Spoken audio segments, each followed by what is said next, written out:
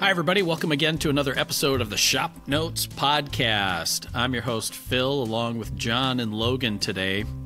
Uh, it's episode number 188. In today's episode, we're going to discuss some oddball clamps, the fallout of a sawmilling experience weekend, our continued fascination with Sprecher's root beer and cheese, and so, so much more. You want a glue that you can trust, and fortunately, Titebond has the glue you need to get the job done with confidence. From interior glues with strong initial tack and short clamp time, to exterior glues with exceptional strength and water resistance. Look to Titebond, the right glue for your next project. For more information, visit titebond.com. When we last were with our intrepid crew, one of them was getting ready for a sawmilling experience. And now we are after that event. How was it? So, how did that go? it was John. That doesn't sound like me at all. Yeah. Good. Uh, so one of our uh, listeners came down from uh, the great state of Wisconsin, um, and uh, took tour of the shop uh, on Friday, and then we did lunch at the Cheese Bar, which of course is my favorite lunch spot in Des Moines. You can fight me on that if you want. Um, and then Saturday, Bob came out here and we did messed around with some of his planes, uh, and then we broke out the sawmill, got it out of the shop, and it was it was funny. You could tell it was the first time I had the sawmill out this year because I started pulling it out. I'm like, huh, where's my crank handle to raise and lower the head? like, there's just a shaft sticking out. And I'm like, I kind of remember pulling this thing off, but I kind of don't. And so we're, we're kind of looking around for it. Bob's like, what color is it? I'm like, I think it's orange. I'm like, no, it's silver with a black handle. I was like, screw it. I'm just going to grab channel locks and we're just going to rotate it with vi- with handles. All right. I found it and we put it on. Uh, and went to fill up my water and remembered last time I was out running it, I dropped the plug out of the bottom of my water container. So like there was a hole, open hole in the bottom. So I'm like, well, I got a screw and some Teflon tape. so we made a plug, shoved it in there. I was like, yeah, this is real life sawmilling. Um, you just kind of make it work. You go full Alaskan on it and yeah, it was great. We we pulled up pulled a walnut log off of my trailer, uh, and we cut it in twain. It was 14 foot long. Uh, so we, I was like, I'm gonna send all this lumber back with Bob. So we cut it to seven and uh, like seven and a quarter feet a piece, and we cut it. Yeah, and it was awesome. Beautiful, right. beautiful walnut log.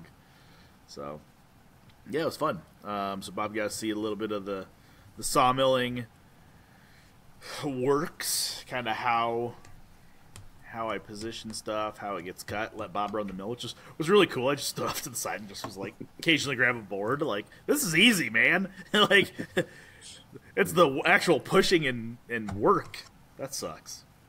It doesn't suck, but you know. Yeah. So was there what kind of was there any kind of a high points or something that he was looking for specifically or you know like sometimes you do a presentation or a class and you have an idea of where it goes but then because of the audience it kind of drifts with a special emphasis or anything No, or I don't think so. I think it was more of I think uh, you know just hanging out and kind of getting some hands on with some of the stuff. You know, plane restoration and sawmilling and stuff. So yeah, okay no, it was awesome. I uh, I felt bad because we had friends coming in from out of town, so it's like it had to be it had to be done at five, um, four thirty five, something like that, and then they were here all Sunday as well. So it's like, well, I wish I would have known that or realized that Bob was staying the entire weekend because then I, I would have like blocked my entire weekend.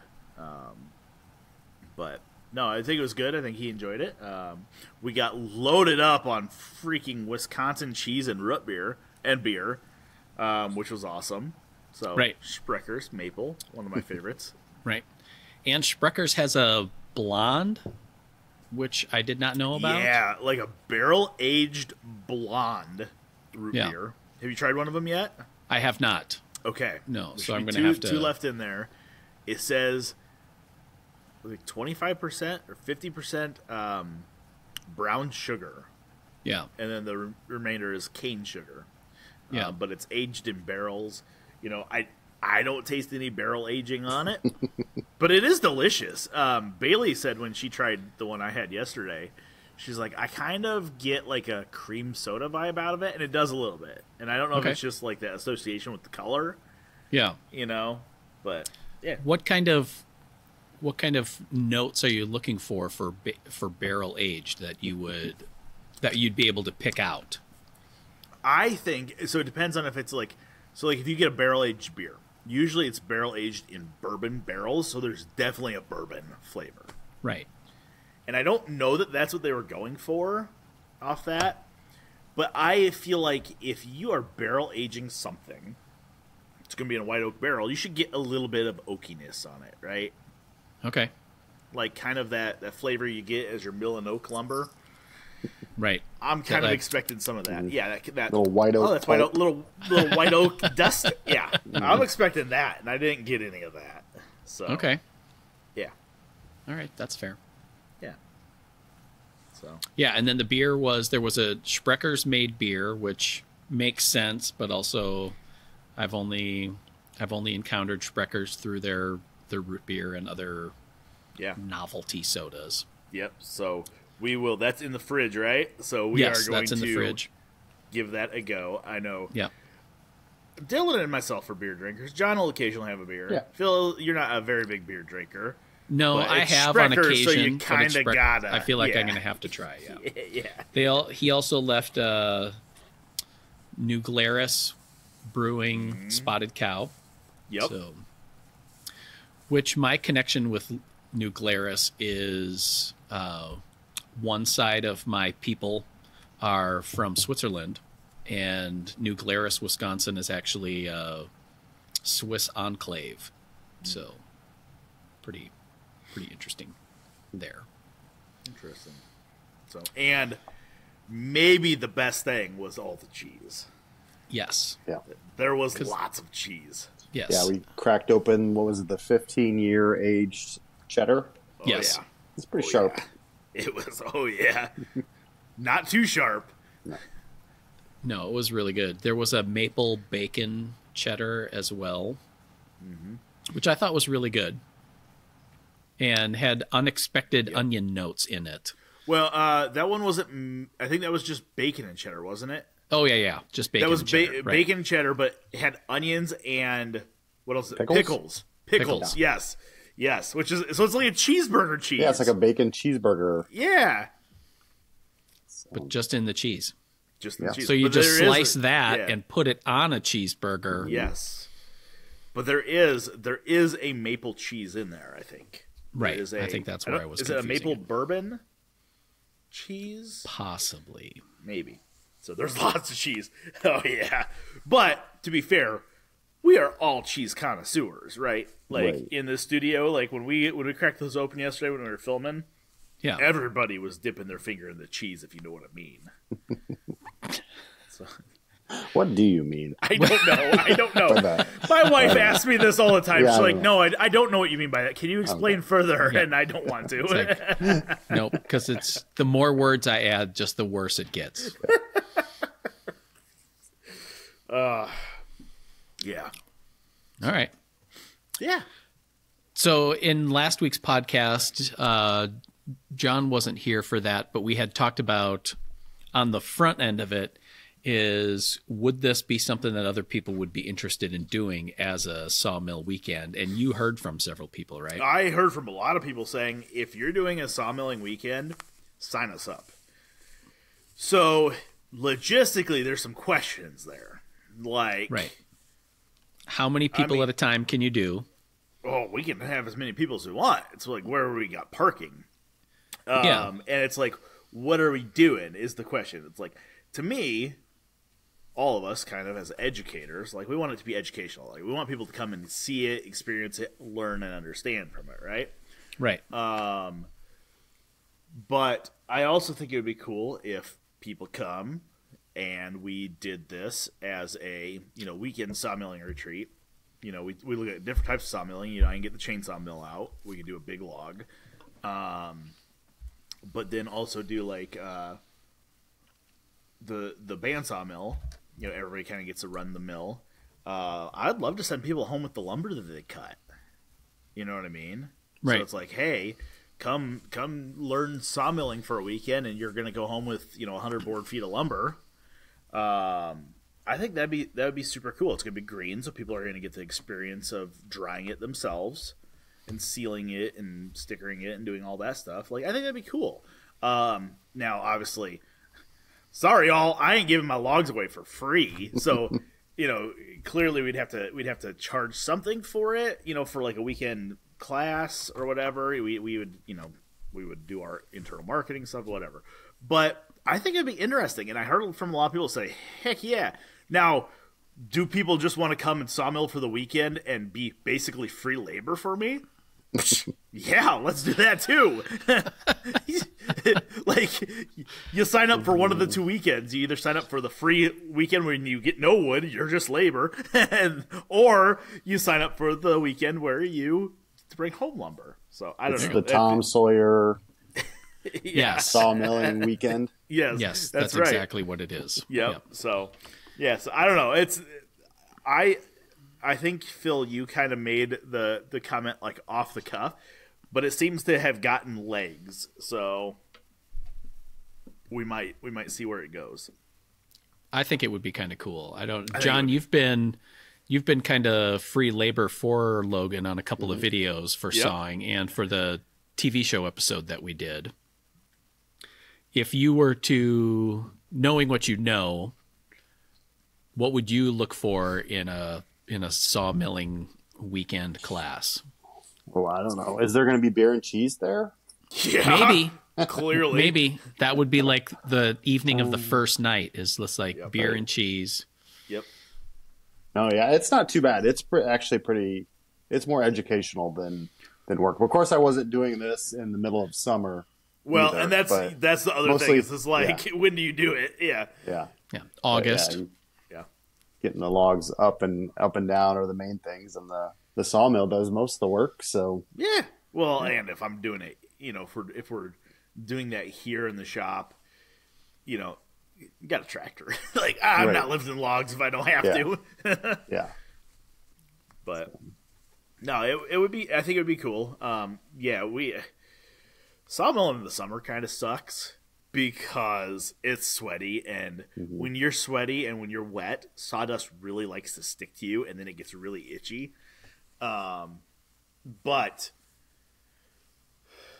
that's part of the experience, right? Right. Like it's Yeah. like going to scout camp. Part of the experience is using the latrine when there's mosquitoes all over. it builds character. it does. I built something, all right.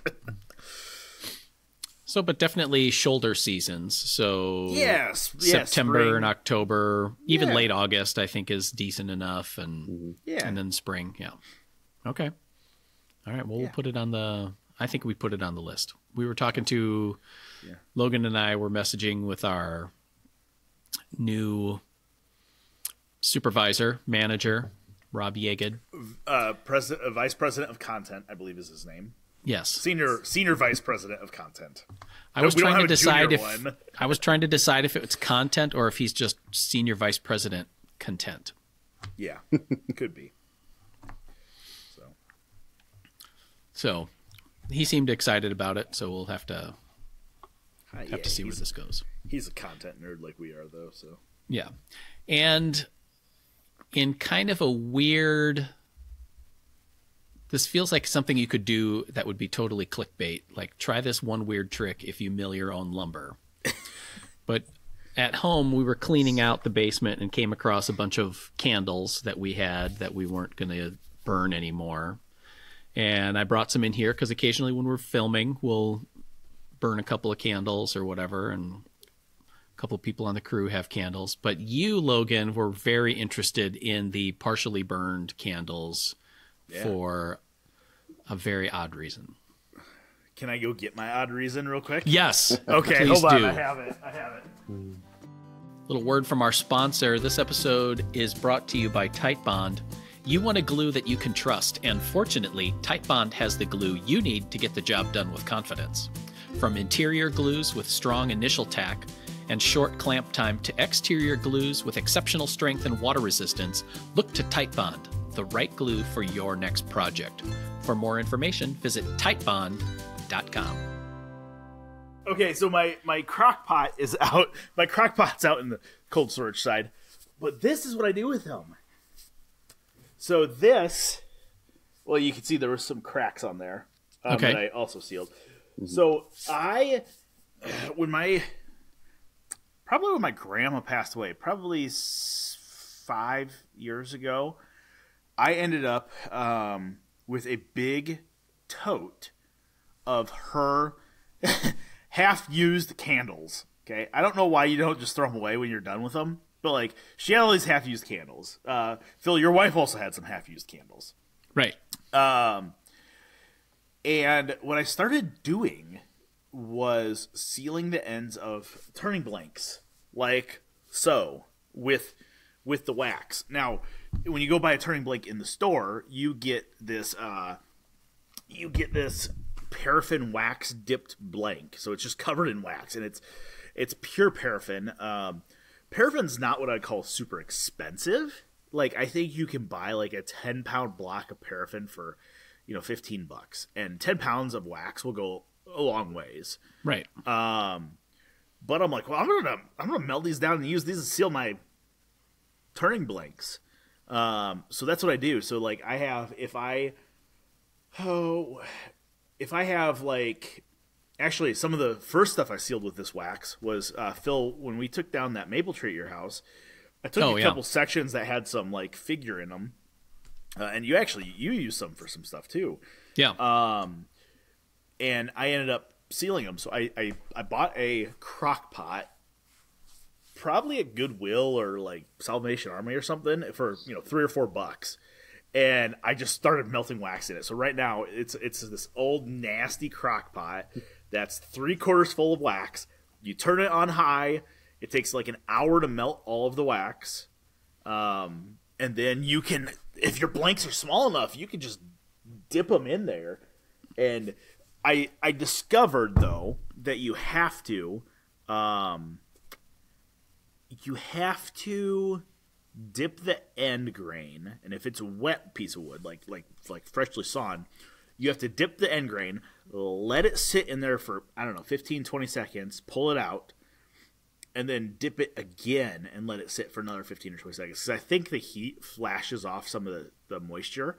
So Okay. you get separation. Um, this one here is actually pretty good, but it's actually starting to like uh, peel. Like right here, I can get my finger underneath that wax and kind of start peeling it off right. um, like a sunburn. like a sunburn. That's right. Uh, and yeah, but I'm like, you know, when I see a big thing of of candles that Becky's going through, and she's like, I don't want this one. I don't want this one. I'm like, throw them this way because I'll I'll use those. I'll use that wax to seal stuff. And it the, it it smells like my grandma's house because it just smells like every candle in Bed Bath and Beyond lit at once. Right. Um, I now to be completely fair, I do have end grain sealer. Like I have five gallon buckets full of Anchorseal. I actually have a backpack sprayer that I put Anchorseal in to seal the ends of logs. So like if we're doing a big logging job and we get a bunch of logs, I'll cut all the ends and just sit there and spray them with a backpack sprayer. Um, it's really messy though. It's like really messy. Just for a couple little turning blanks, it's like trying to paint on a thin Elmer's glue. It's just it's just messy. This is this is so much easier, especially if I Right. if I know I'm cutting a bunch of blanks, I'll just get it done. Yeah, it works out. It works out great. All right. so, That's cool. Yeah. It was just kind of funny going into the kitchen this morning and having that that collected aroma of 12 different candles all at once. It's very floral, perfumey, chemical all Yes. in there. Yeah. So, Yep. all right. Yeah. And I know somebody will ask that like the the the color of the wax doesn't seem to transfer to the wood at all. So like, I had wondered that because the first the first blanks I said that were maple and they're they're white. Yeah. Doesn't the color does not leach in at all. Okay. So I was I was worried about that. Uh, sure. Yeah. Yep. Everybody doing their part. That's. Mm-hmm. I just thought it was kind of cool. I mean, I've seen, you know, you go to, uh, like a hardwood lumber dealer, and sometimes you'll find like small exotics where they're pretty much just coated in wax too, kind Yeah. of, kind of like some tropical vegetables, you know, when they come and it's just got the wax coating on it. But Yeah. And if you do pick up a blank, and this is something that not a lot of people understand, if you pick up a blank and it is completely wax sealed, it will never dry. It will be wet forever. yeah, Like it's not like the the water does not permeate through the wax and dry out. Um, if you if just the end grain is sealed, then a lot of times it will dry out. It'll dry out slowly. yeah, Um, So like this this walnut blank here. Ah, this was this was a piece of a walnut root ball. This was actually the tap root. Um, I sealed the ends, and you can still see for those of you watching. You see that big crack on it. So it is still still drying out and cracking on the sides. I'm gonna need to turn this sometime sooner rather than later. okay, So the purpose is just to seal the end grain so wo- Yeah. moisture doesn't escape quickly, and then you get the cracking on the ends. Yeah, you want it to escape from the sides center, slowly, yeah. but not from the end because it'll go too Bingo. quick. And then, Yep, bingo.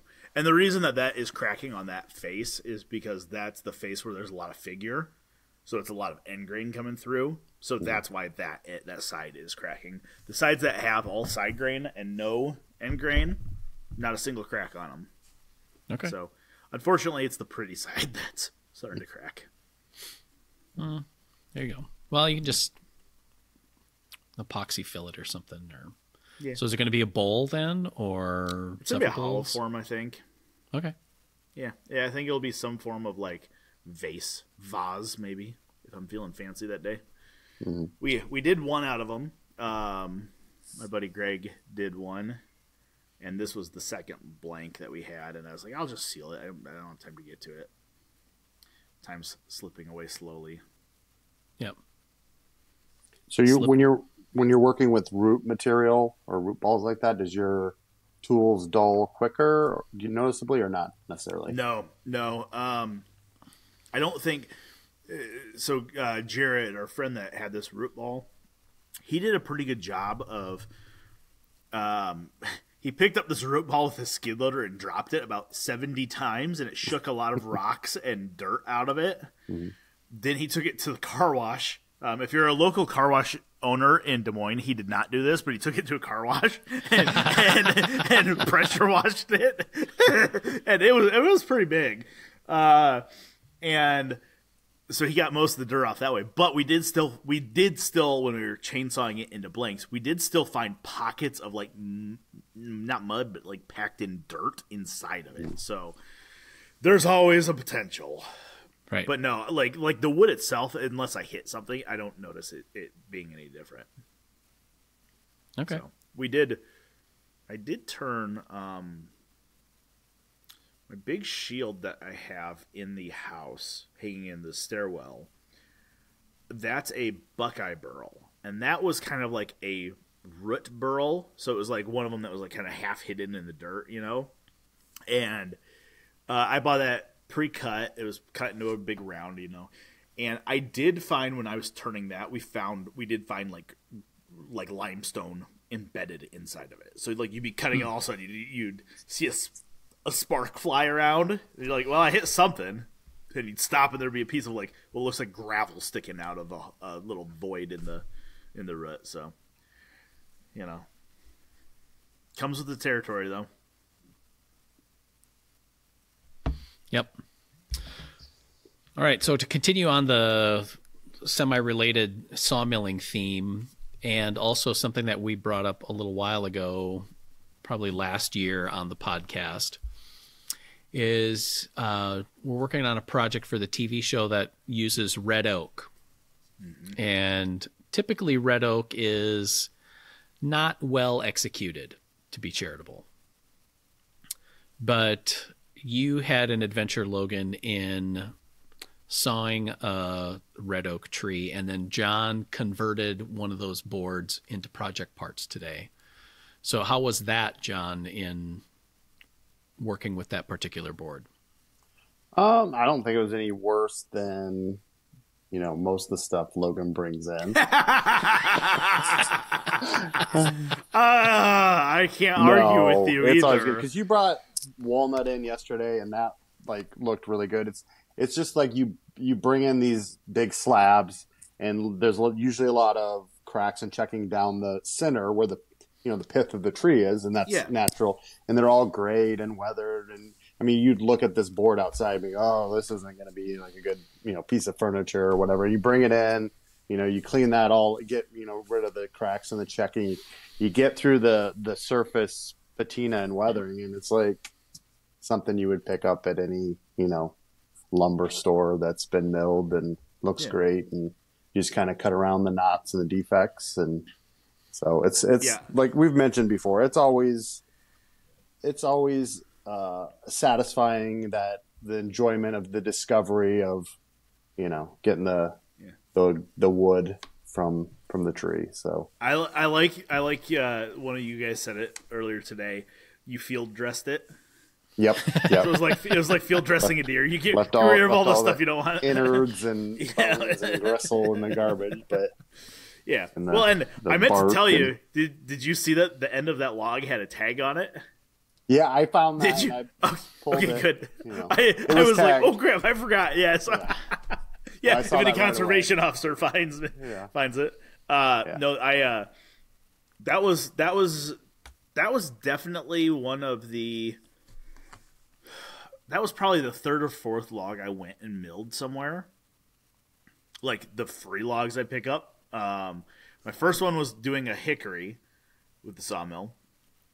I probably did an ash with one of my tree guys, um, and then this one, and I went and did this one by myself. And I was telling Phil, I remember this lady. It was miserable. It was in some lady's backyard. They, she had this red oak tree taken down, and the uh, the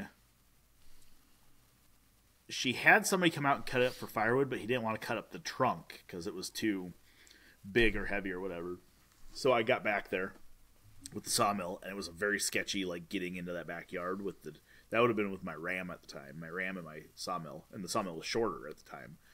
Um, and just the grade that this thing was on. Like I think when I put my ramps on to roll the log onto the mill, the ramps were pretty much horizontal to the ground. You know, it was like it was one of those like the log just rolled straight onto the mill and didn't go up at all because of how big a grade this was on. It was miserable, and those were so heavy when they were wet. Um, I was sweating my butt off, probably thinking it was the dumbest thing I've ever done. And now I did it all for this moment, so Phil could turn that log into a shelf designed by John, right? you know, Yep. So yeah, so I was just saying, I, I always think it's main, like you just brought in one board. It's not a very big shelf project, but it's like, oh, how am I going to get all the parts from this? But it's like two inches thick, and you're Yeah, playing it all yeah. down and resaw it, and you're like, I got enough for two shelves here. yeah, Yeah. and It's to pretty cool. be to be fair, I kept like I kept that board because that was the nicest one out of all of them because it's it's purely quarter saw and it had the crack right down the center from the heart. Um, it had a lot of Fleck figure in it, which was really cool uh, in red oak, you know, and uh, I had sold a few of those. I told Phil I, I had sold a few of those boards. I think I sold them for like two hundred bucks a piece. Like I sold two of them. Um, not not the course saw. I- That was that was the private reserve. That's going to be a little bit more. Yeah, that's going to yeah. you you know charge that back. You know, Yeah, that's right. Yeah. it's So- double. Yep. So, no, I, I always, I mean, if I'm selling somebody a log or pieces of a log, you know, you know, uh, like a, a through and through or you know, whatever. Uh, most of the time they don't want the centerpiece because it has the crack down it, right? Even though most of the time that quarter sawn figure on oaks, um, on walnut, it's just really straight as is with cherry. But I still really like that. Like I like having that really straight grain. I'm Oh, yeah. completely cool with people not wanting to buy the center cut because that's what I want. Like that's the mm-hmm. private reserve collection That's, that goes in the the, back. prime Yeah. choice Yes, that's Center the cut cut. Yep, chop. that's that's mm-hmm. exactly what it is. Yeah. That's where the flavor is. Yeah. the lo- loin Well chop of the wood. Yeah. Uh, Tell us you live in an agricultural state Yeah. without saying you live in an agricultural state. Mm-hmm. Yeah. All right. So no, it was pretty cool because it, I, and I totally agree. It's just you see those boards were it's like it's right next. It, you had it on top of a stack of some of the bur oak, Yep. and at first glance, it's not any different. And there's a, I think that did we figure out that that was a walnut board that's over there too? That's rough sawn, or was th- that the I'm pretty sure it is. I'm pretty sure it is. Yeah. And it's like, I don't know what that one is either. And then it's just Now- amazing. it's an amazing be very transformation. yeah, to be very clear, uh, the air drying process does like stain and age the boards, right? Right. However, once I get my driveway moved and everything, and I move all my logs and stuff around, and I get everything drying on the north side of this building, uh, my five year plan, hopefully the this summer plan, but uh, my plan is to get everything under roof, so Okay. hopefully it doesn't dry to that degree, where it's like I could still see the grain without running it through the planer Sure. um, because I think uh, the walnut trees that everything's sitting under, I think that exponentially makes the dark staining worse. okay. So Maybe.